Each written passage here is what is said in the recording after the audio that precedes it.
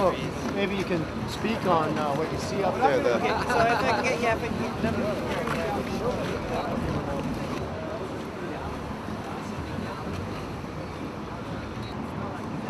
No, we came as musicians, but we're leaving as 9/11 activists, I guess.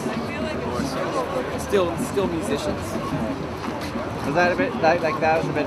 Was that would you call that maybe the frustrating aspect if you The most frustrating. or uh, I know I don't know but like just the fact that you guys didn't actually get to do a lot of your shows. Yeah, it's pretty frustrating. We got a lot riding on. Quand je te filme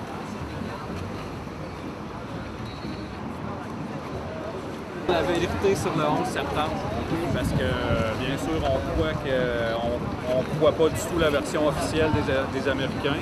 On sait tous que c'était euh, c'était une excuse pour aller en guerre en Irak. Euh, il y a eu 3000 Américains de morts quand les taux sont tombés.